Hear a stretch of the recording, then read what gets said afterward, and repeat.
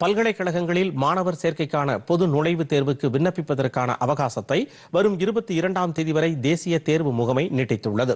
நாடு முழுவதும் உள்ள பல்கலைக்கழகங்களில் மாணவர் சேர்க்கைக்காக பொது நுழைவுத் தேர்வை தேசிய தேர்வு முகமை நடத்துகிறது. இந்தியாவில் உள்ள ஐநூற்று நாற்பத்தி ஏழு நகரங்களிலும் வெளிநாடுகளில் பதிமூன்று நகரங்களிலும் நடைபெறும் இந்த தேர்வை தமிழ் உள்ளிட்ட பதிமூன்று மொழிகளில் எழுதலாம் என்று அறிவிக்கப்பட்டுள்ளது. இந்நிலையில் இந்த தேர்வில் பங்கேற்க விண்ணப்பிப்பதற்கான அவகாசம் இன்றுடன் முடிவடைய இருந்த நிலையில் இதனை வரும் இருபத்தி இரண்டாம் தேதி வரை தேசிய தேர்வு முகமை நீட்டித்துள்ளது. இது மாணவர்களுக்கு கூடுதல் வாய்ப்புகளை வழங்கும் என்று நம்பிக்கை தெரிவிக்கப்பட்டுள்ளது. ஆன்லைன் விண்ணப்பங்களை இருபத்தி இரண்டாம் தேதி மாலை ஐந்து மணிக்குள் அளிக்க வேண்டும் என்றும் கட்டணத்தை அன்று நள்ளிரவு பதினொன்று ஐம்பதற்குள் செலுத்த வேண்டும் என்றும் அறிவுறுத்தப்பட்டுள்ளது.